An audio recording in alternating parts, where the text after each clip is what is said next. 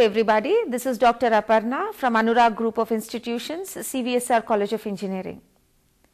Have you ever been to a magic show? Have you ever seen a magician perform on stage? If yes, how was the experience? It must have been great when you see magicians performing tricks in front of you. What is magic? Magic is derived from the Latin word magicus. Magic manipulates reality with the help of occult power, something which is not understood by science. Magic has been there for centuries and we have always been intrigued by the mysteries of magic. There have been many magic shows on television also. I am sure you must have seen these shows on TV. There was a famous show where the magician told everybody what lies behind his magic, what is the secret of his magic. He opens his magic to everybody and all of us to see. And then we realized, oh, how simple and how easy it is to really perform magic. India has been blessed with famous magicians. We are very fortunate to have the best magicians in the world. The most famous of them are P.C. Sorcar Senior and P.C. Sorcar Junior, both of them from West Bengal. P.C. Sorcar Jr. in the year 2000 vanished the Taj Mahal for two minutes. Now that is surprising. And then he also vanished the Victoria Memorial when Calcutta was celebrating its 300th year. How can anybody just vanish things like that into thin air? And that is exactly what he did. There people were standing and looking at the Taj Mahal and for two minutes it was not visible to them. There was an empty horizon in front of them. And the same was the case with Victoria Memorial. People were awed, they were surprised, they were bewildered. How can anybody perform a trick like that? Now tell me, what kind of clothes do magicians wear? Yes, they wear black coats, black pant, a bow tie, dress that has big, big, large pockets wherein they can hide things. Is it not? Every magician wears a black dress with has big pockets and he also hides things up his sleeves. The lesson that we are going to read is something about that and I am sure you are going to really enjoy that. Have you heard of the famous Indian rope trick? At the simplest level, the rope trick is very easy. What does a magician do? He simply throws a rope into the air. It doesn't fall back down. It stands erect as if it were a pole. And he asks his Jamura, that is his assistant, to climb up the rope and descend back. That is exactly what he does. People are amazed that is a famous Indian rope trick. India is famous for it. Of course, there have been many versions of that rope trick. As the years went by, it became more and more complicated. And more recently, I'm sure you must have all read the Harry Potter books written by J.K. Rowling, which were also made into movies. In that particular series, Harry Potter goes to the Hogwarts School of Witchcraft and Wizardry, where he learns magic and he learns to perform a lot of tricks and he eventually meets his arch enemy Lord Voldemort and defeats him and finally kills him. This particular series has generated a lot of interest among youngsters in the recent times. As I was telling, who is a conjurer?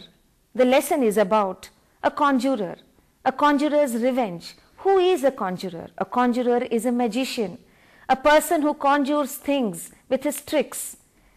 This lesson was written by Stephen Leacock.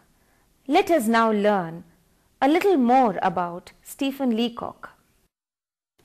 Stephen Leacock Butler was born on 30th December 1869. He was a political scientist, a teacher, and he was also a humorous writer. In the early part of the 19th century, he earned a name as a famous humorist, perhaps the only one in the English speaking world. To supplement his regular income, Stephen Leacock started writing fiction, short reports. His stories were published in magazines in America as well as Canada. He became extremely popular around the world. Stephen Leacock wrote a lot of non-fiction, but he became famous for his humorous works. His first collection of humorous stories appeared in the year 1910 under the title Literary Lapses. His two important books are The Sunshine Sketches of a Little Town and The Arcadian Adventures of the Idle Rich. Stephen Leacock Medal of Honor was constituted in the year 1947. His home at Brewery Bay was opened to the public, where people came and saw how the great man lived. And in the year 1968, his home was declared as a national monument. Now, let us learn about this lesson, what Stephen Leacock has to talk about magicians and what the conjurer did and how he took his revenge. The story starts with the conjurer or the magician performing his tricks on the stage. There is a whole lot of audience sitting right in front of him, and he is trying to impress his audience. He says, The first thing I'm going to do is to conjure a bowl of goldfish from an empty cloth. And he takes an empty cloth, and from that empty cloth, he brings out a bowl which is full of goldfish. Everybody is amazed, stupefied, and in wonder. How did he manage to do that? How did he manage to do that? But then, right in the front row in the audience is a man who is quick to give his comments. Stephen Leacock calls that man the quick man because, as I said, he's very quick in commenting on what the conjurer was doing. The moment he conjures a bowl of goldfish, this man whispers to the audience around and he says, he had the bowl of goldfish up his sleeve. Now, everybody looks at him and they start wondering did this man really have a bowl of goldfish up his sleeve? The conjurer is a little perturbed. And then he says, Now, ladies and gentlemen, I am going to perform the famous Hindustani trick. Do you see these rings? Now, I am going to join these rings together with one at one go. And exactly the he takes the seven rings says abracadabra and the rings join into a chain. The moment he does that everybody in the audience are surprised. How did he do that? How did he do that? How did he manage to do that? But then the quick man is very quick to retort and he says oh that's not a trick i'm sure he has a set of joint rings up his sleeve now the conjurer is really worried because his reputation starts sinking and the audience are believing what the quick man says. And then he says, turns to the audience and says, My dear sir, will you please give me your hat? One gentleman from the audience gives him the hat and he says, Now I am going to extract 17 eggs from this hat. And he starts extracting the eggs. Everybody is amazed. How can he extract eggs from an empty hat? They're surprised and they're in wonder. What a great magician! He's performing such great tricks. But the quick man says, Don't worry, he has a hen up his sleeve. Now the magician is really angry. He's really, really irritated. He keeps performing the tricks he thinks, okay, I should not bother about the quick man. He keeps performing his tricks, but every trick that he performs is undermined by the quick man. The quick man says he has a loaf of bread up his sleeve. The quick man says he has a cradle up his sleeve. He has a guinea pig up his sleeve. Any trick that was performed was undermined. I'm sure all of you must have faced a similar situation. Your teacher must have asked you to write an assignment. You must have sat through the entire night going through the net, referring books, and finally coming up with an excellent essay.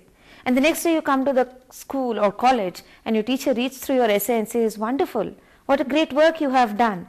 And a friend of yours says, Madam, he just copied it from the internet. How would you feel then? Tell me. That is exactly what the conjurer must be feeling because the quick man was continuously undermining and underplaying all the tricks that he was doing.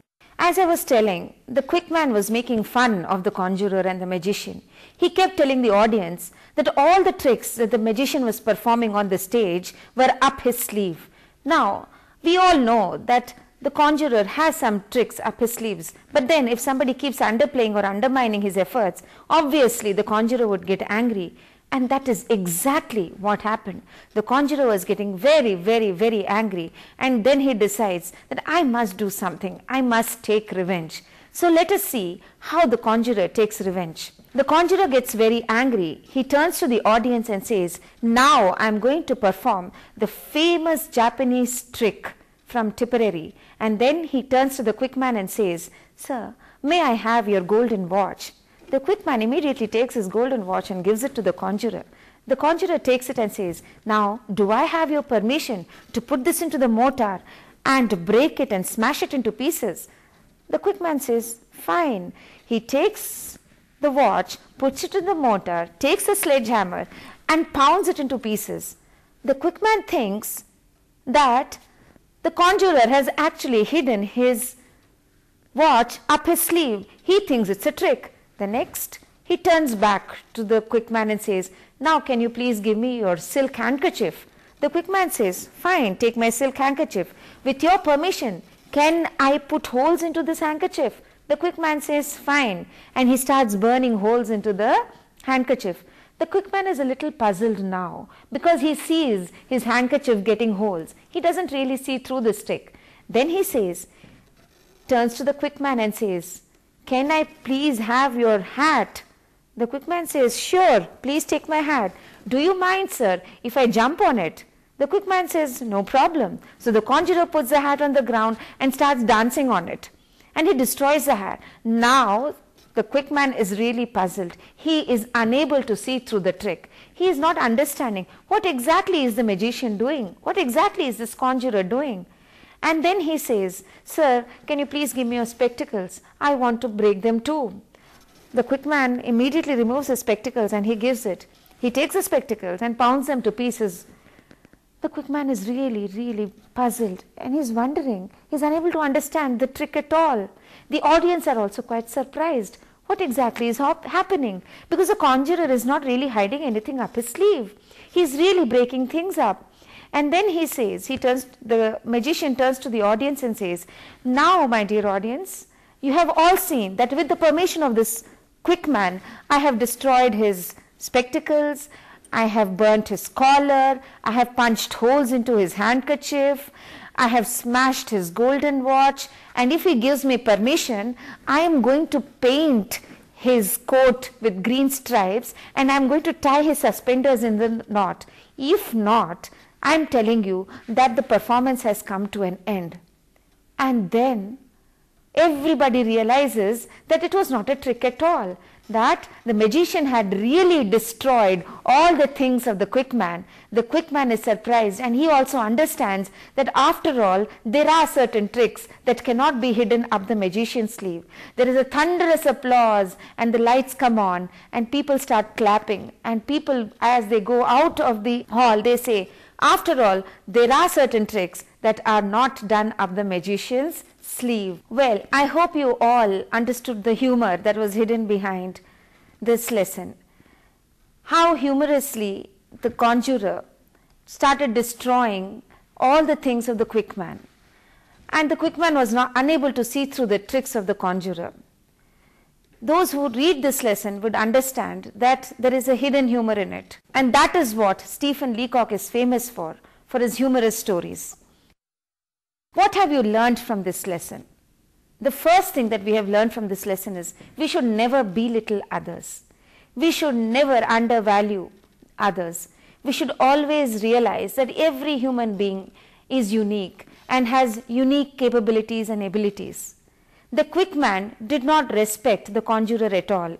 He kept on belittling him. Any magic that the conjurer was performing, he started belittling it. He started downgrading it. He started telling that all the tricks that the conjurer was performing were up his sleeve. Now, that is not the right thing for any one of us to do. Everybody who is big or small, in a great position or in a very low position in life, has unique capabilities. One must realize that they should be respected for what they are. And that is exactly what the quick man was not doing. He was not understanding that the conjurer had his own place in the society. He was performing his tricks to impress the audience. Instead of helping and appreciating what the conjurer was doing, he was trying to belittle it belittle whatever he was doing. So the conjurer got very angry and he destroyed all the things of the quick man.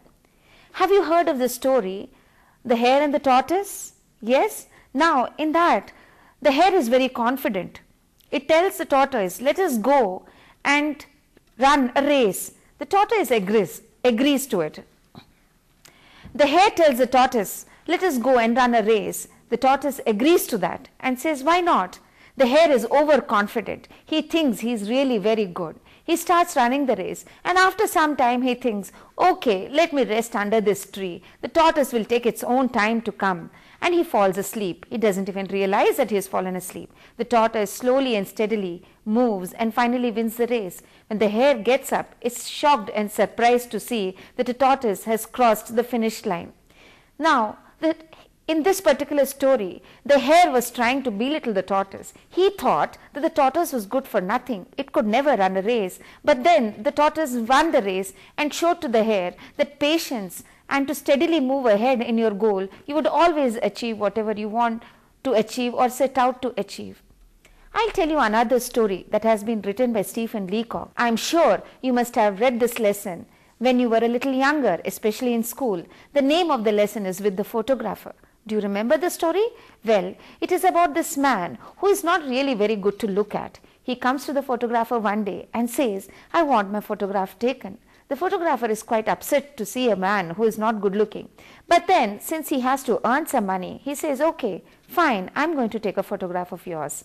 And then, after the photograph is taken, this man asks, When can I come back? When can I come and collect my photograph? The photographer tells him, Oh, you come back after a week. After a week, when he comes, he's surprised to see his photograph. When he looks at the photograph, he is very unhappy. He says that this is not my photograph. The photographer tells, I have improved on your looks. See how beautiful you look on the photograph. I have improved on your hairline. I have improved your eyebrows. Look at your nose and your mouth. People will appreciate you more in the photograph. But the customer is very unhappy. He gets very angry. He says, I am happy with all the features that God has given me. God has created me this way and happy and I'm happy to be what I am today. I wanted this photograph because my friends like me the way I look. I wanted this photograph because everybody around me likes me the way I look. I wanted this photograph so that my friends would think of me and remember me when I die and realize what a great friend they had.